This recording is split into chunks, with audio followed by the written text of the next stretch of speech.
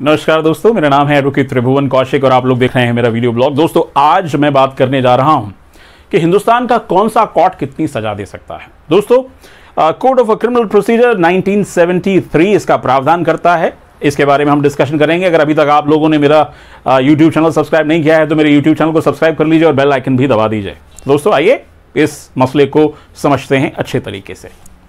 दोस्तों code of criminal procedure 1973 की दफ़ा 28 यानी कि सेक्शन 28 टॉक्स अबाउट कि जो हाई कोर्ट है और जो सेशंस कोर्ट है, वो कितनी सजा दे सकते हैं। तो दोस्तों आईपीसी या जो भी स्टैचूट है उसमें जितनी भी सजा लिखी है हाई कोर्ट कोई भी सजा दे सकता है यानी कि लाइफ टाइम इंप्रेजनमेंट और डेथ पेनल्टी भी कर सकता है। यही सीधी बात है सेशंस कोर्ट की। सेशंस कोर्ट में कौन कौन सी कोर्ट सबसे पहले डिस्ट्रिक्ट एंड सेशन कोर्ट कोई भी सजा दे सकता है कोई भी फाइन दे सकता है। लेकिन अगर ये डेथ पेनल्टी है आ, या लाइफ टाइम इंप्रेजनमेंट है तो ये कॉन्फर्मेशन के लिए हाई कोर्ट जाता है।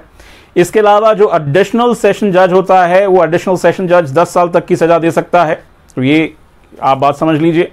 अब बात करते हैं कि मैजिस्ट्रेट कौन कौन सी सजा दे सकते हैं। दोस्तों कोड ऑफ़ क्रिमिनल प्रोसीजर का सेक्शन 29 बात करता है कि हिंदुस्तान के मैजिस्ट्रेट कितनी सजा दे सकते हैं।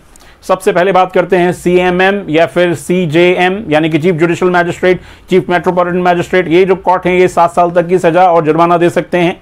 इसके अलावा जो मैजिस्ट्रेट फ़र्स्ट क्लास है, वो तीन साल तक की सजा दे सकता है, दस हज़ार रुपये तक का जुर्माना दे सकता है।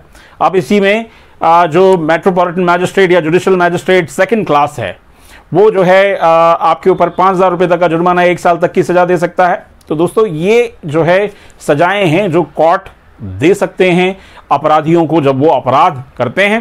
दोस्तों, अगर आप ये मेरा वीडियो ब्लॉग देख रहे हैं फेसबुक पे तो इसको आप लाइक करें शेयर करें व्हाट्सएप ग्रुप्स पे भी शेयर करें, जिससे कि जो लीगल अवेयरनेस मैं इन वीडियोस के थ्रू क्रिएट करने जा रहा हूँ, वो सब लोगों तक पहुँचे। आज के लिए बस इतना ही, नमस्कार।